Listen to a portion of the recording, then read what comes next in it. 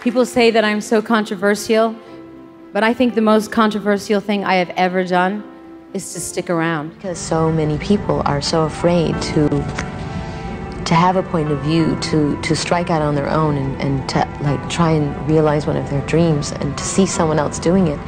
We're living in, a, in, in an age and a society now where that is almost looked at as a weakness, something to be ashamed of.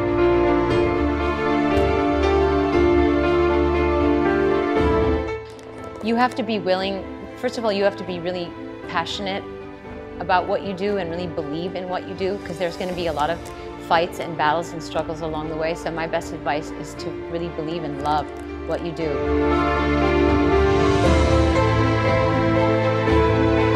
You have to stop blaming other people for everything or stop holding other people responsible. You have to be much more independent in your thinking and you have to make sure that what you do is what you want to do. And in life, there is no real safety except self belief.